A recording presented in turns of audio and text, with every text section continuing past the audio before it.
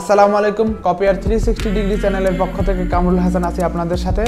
আজকে যে বিষয় নিয়ে কথা বলব তা হলো ফটোকপি মেশিনের ইতিহাস। ফটোকপিয়ার মেশিন বা জেরক্স মেশিন ফটোকপিয়ার মেশিন কত সালে তৈরি হয়েছিল? ফটোকপিয়ার মেশিন কে তৈরি করেছিল?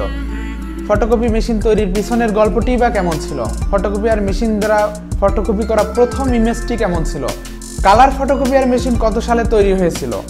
Most popular photocopier brand in the world এবং most necessary consumable and spare parts of photocopy photocopier machine এবং সর্বশেষে অ্যাবাউট দ্য ফটোকপিয়ার ইনোভেটর তো চলুন শুরু করা যাক।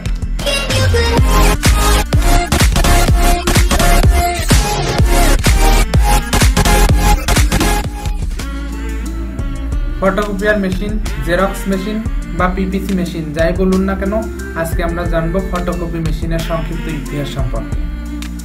ফটোকপি মেশিন কাকে বলে?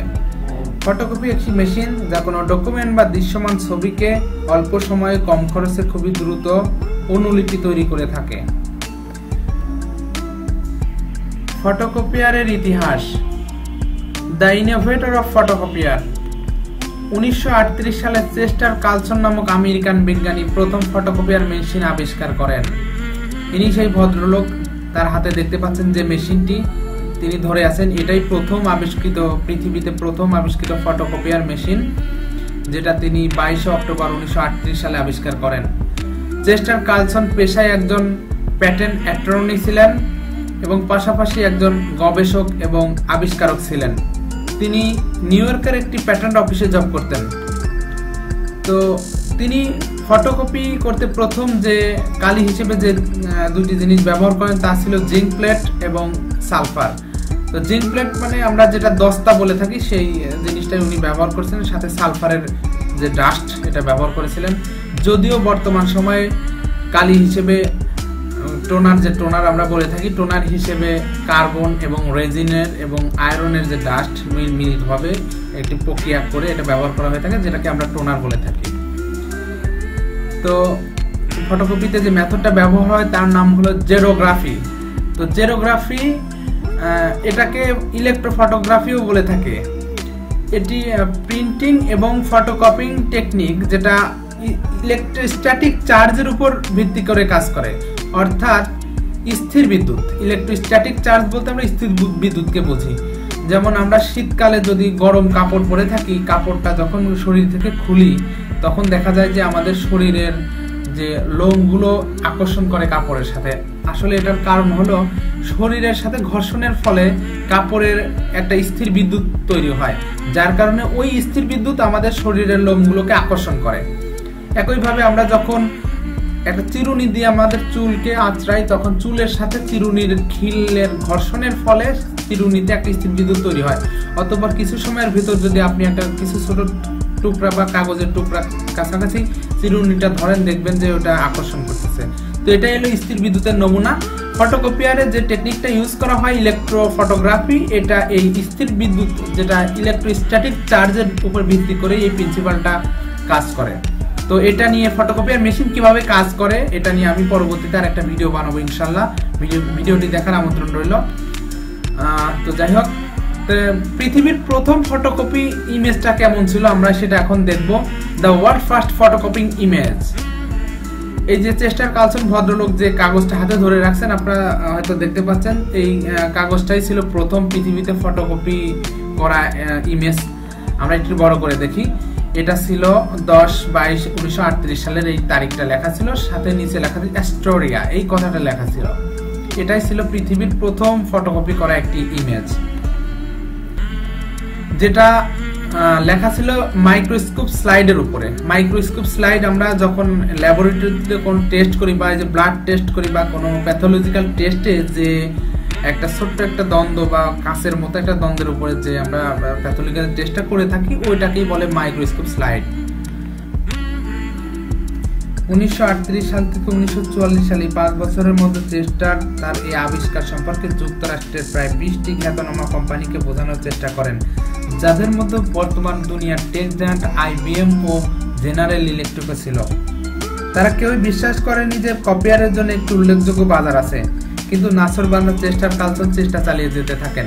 কারণ তিনি জানতেন যে তার এই আনডেভেলপড আবিষ্কার মানুষের কাজে লাগানোর জন্য আরও ডেভেলপ করা প্রয়োজন। যার জন্য তার উন্নত মানের ল্যাবরেটরি এবং বিভিন্ন ইকুইপমেন্টের সহযোগিতা দরকার ছিল এবং সাথে একটা টিম দরকার ছিল।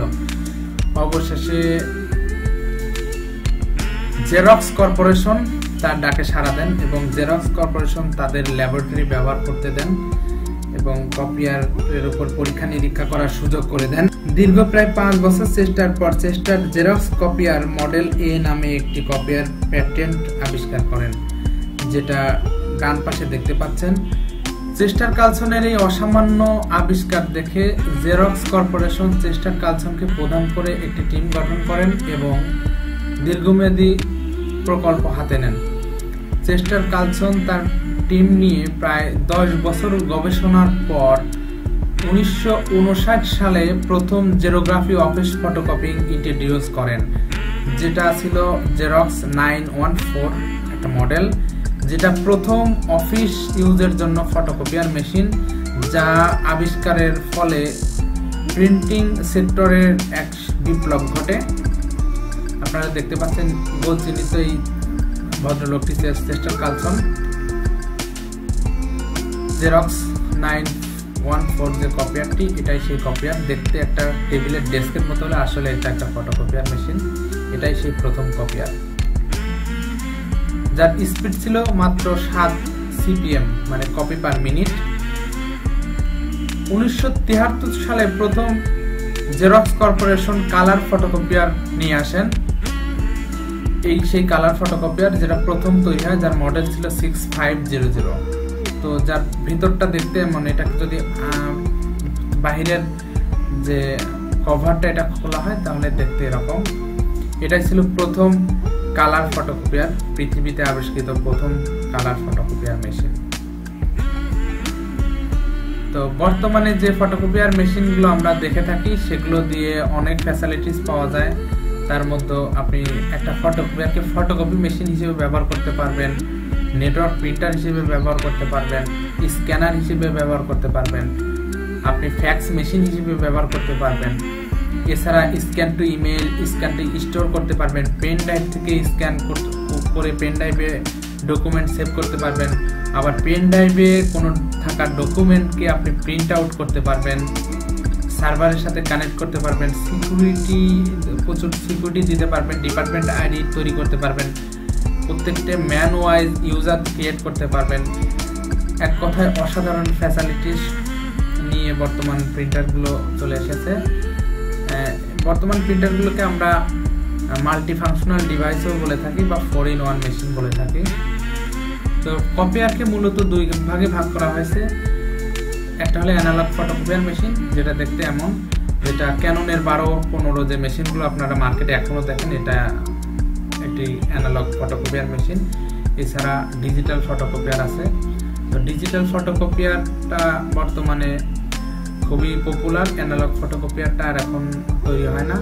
ডিজিটাল ফটোকপিয়ার মেশিনটা মাল্টিফাংশনাল ডিভাইসের যে ফ্যাসিলিটিসগুলো এটা আপনি ডিজিটাল ফটোকপিয়ার মেশিনেই পাবেন। একটা ফটোকপিয়ার মেশিন দিয়ে আপনি সকল ধরনের যে ফিচারগুলো আমি উল্লেখ করেছি, সবগুলোই আপনি পাবেন। তো আপনি ইচ্ছে করলে একটা ডিজিটাল ফটোকপিয়ার মেশিন দিয়ে ফিনিশার যদি লাগানো থাকে, যে বাম সাইডে যেটা দেখতে পাচ্ছেন, এটাকে ফিনিশার বলা হয়। তো এই ফিনিশার যদি লাগানো থাকে, তাহলে বই তৈরি করাও সম্ভব। মুহূর্তের ভিতরে একটা বই তৈরি হয়ে যাবে। এক কিছু ডকুমেন্ট আপনি কয়েক মিনিট পরে বই আকারে পেয়ে যাবেন এরকম পাবেন। তো ডিজিটাল ফটোকপিয়ার মেশিনকে আবার দুই ভাগে ভাগ করা হয়েছে। একটা মনোক্রোম ফটোকপিয়ার বা ব্ল্যাক অ্যান্ড হোয়াইট আর একটা কালার ফটোকপিয়ার তো মনোক্রোম আর কালার ফটোকপিয়ার পার্থক্য আমরা সবাই জানি যে একটা দিয়ে ব্ল্যাক অ্যান্ড হোয়াইট প্রিন্ট হবে, আর একটা দিয়ে কালার প্রিন্ট হবে বা ফটোকপি হবে।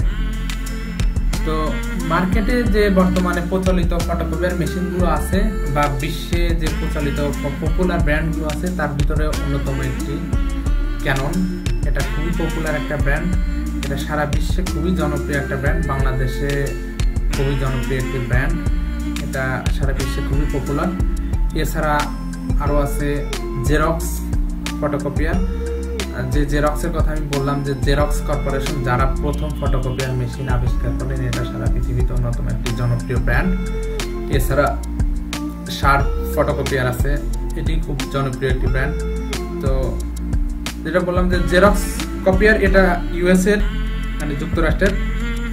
কিন্তু শার্প এটা জাপানের তৈরি। এছাড়া আছে তোশিবা এটাও জাপানের তৈরি। তোশিবা খুবই জনপ্রিয় একটি ব্র্যান্ড বাংলাদেশের প্রেক্ষাপটে। বিশেষ করে কমার্শিয়াল যে আমরা ইউজারগুলো দেখি, অধিকাংশই তোশিবা মেশিন ব্যবহার করে। এছাড়া ক্যানন মেশিনও ব্যবহার করে। কিন্তু শার্প এবং অন্যান্য ব্র্যান্ড একটু কম দেখা যায় কমার্শিয়াল ইউজে তো সেক্ষেত্রে খুবই এগিয়ে আছে তোশিবা মেশিন ক্যাননও বেশ এগিয়ে আছে। তো এছাড়া আছে রিকো মেশিন রিকো এটা একটা পপুলার ব্র্যান্ড মোটামুটি। এছাড়া কনিকা ম্যানুয়ালটা নামে একটা মেশিন আছে, এটা মোটামুটি ভালো একটা মেশিন। এগুলো সবই জাপানি জেরক্স বাদে বাকি প্রায় জাপানি ব্র্যান্ড কায়োসেরা এটাও একটা জাপানি ব্র্যান্ড কায়োসেরা মেশিন এটা খুবই কম দেখা যায়। এটাও ভালো জাপানি ব্র্যান্ড প্রায় ব্র্যান্ডই খুব ভালো। রিসো এটা রিসোর ডুপ্লিকেটার মেশিনটা খুবই পপুলার যেটা মিনিটে একশো সত্তর, দেড়শো বা দুইশো পঞ্চাশ এরকম স্পিডে কপি করে থাকে। এক মিনিটের ভিতরে আপনি একশো সত্তর, একশো নব্বই কপি করে করতে পারবেন, যেগুলোকে ডুপ্লিকেটার বলে। রিসোর ডুপ্লিকেটার মেশিনটা খুবই জনপ্রিয়। সর্বশেষ ইন্ট্রোডিউস করা যে মেশিন এইচপি দ্য এসপি তারাও ফটোকপিয়ার নিয়ে এসেছেন বর্তমানে বাজারে। তো এইচপি খুবই নতুন ফটোকপিয়ারের জন্য। আমরা এইচপি কে আসলে চিনে থাকি কম্পিউটার ল্যাপটপ এবং প্রিন্টার এই রিলেটেড প্রোডাক্টগুলোর জন্য। কিন্তু বর্তমানে বর্তমানে এইচপি ফটোকপিয়ার মেশিন নিয়ে এসেছে এবং তাদের ওরকম এখনও পপুলারিটি হয়নি ফটোকপিয়ারের ক্ষেত্রে তারা চেষ্টা চালিয়ে যাচ্ছে। তো ফটোকপিয়ার মেশিনের যে most necessary consumable spare parts এগুলো এখন একটু দেখাবো। যেটা সবচেয়ে বেশি প্রয়োজনীয় একটি পার্টস যেমন ড্রাম ইউনিট এটা ক্যাননের এনপিজি ফিফটি ওয়ান নামে একটা ড্রাম ইউনিট যেটা ক্যাননের আইআর পঁচিশ বিশ সিরিজের ইমেজ রানার পঁচিশ বিশ সিরিজের মেশিনগুলোতে ব্যবহৃত হয়ে থাকে।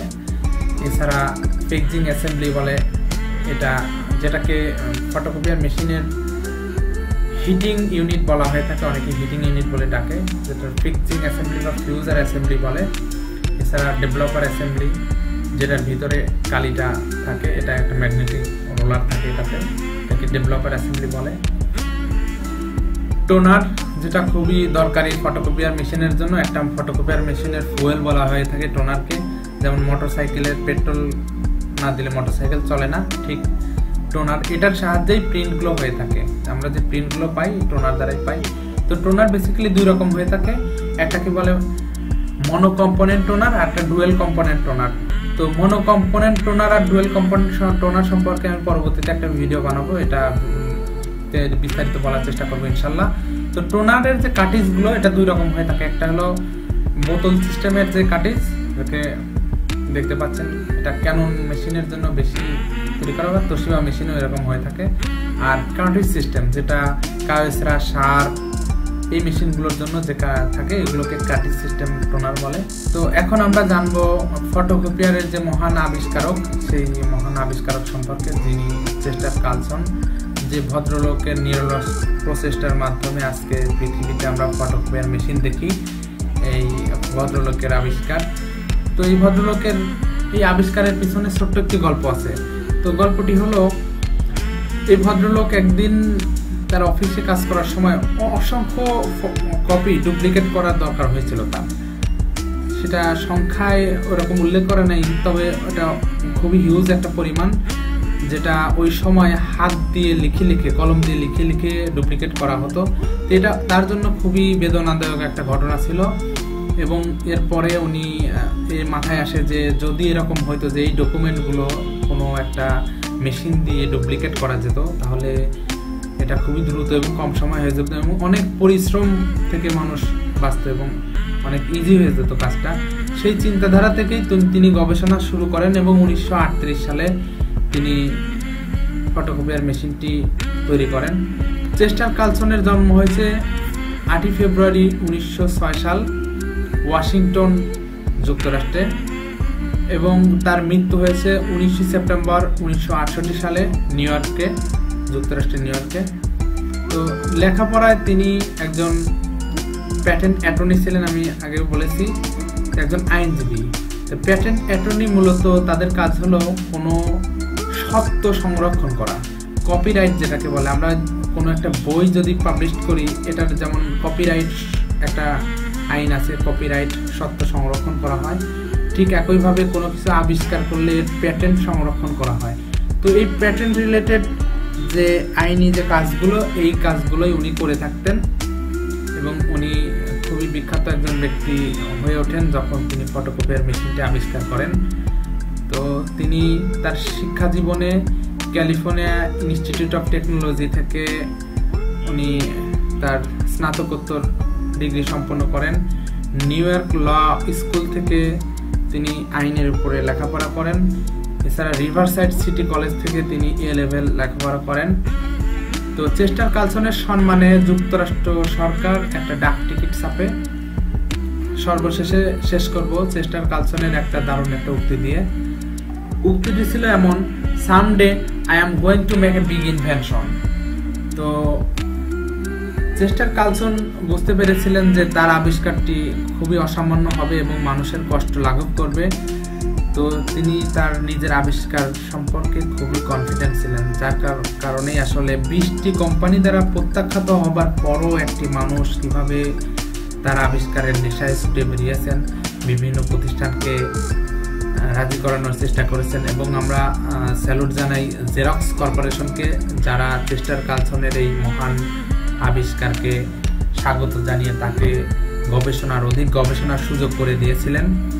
তো চেষ্টার কালসন যার কল্যাণে আজকে আমরা কোটি কোটি মানুষ ফটোকপিয়ার মেশিনের যে সুফল ভোগ করিতেছি।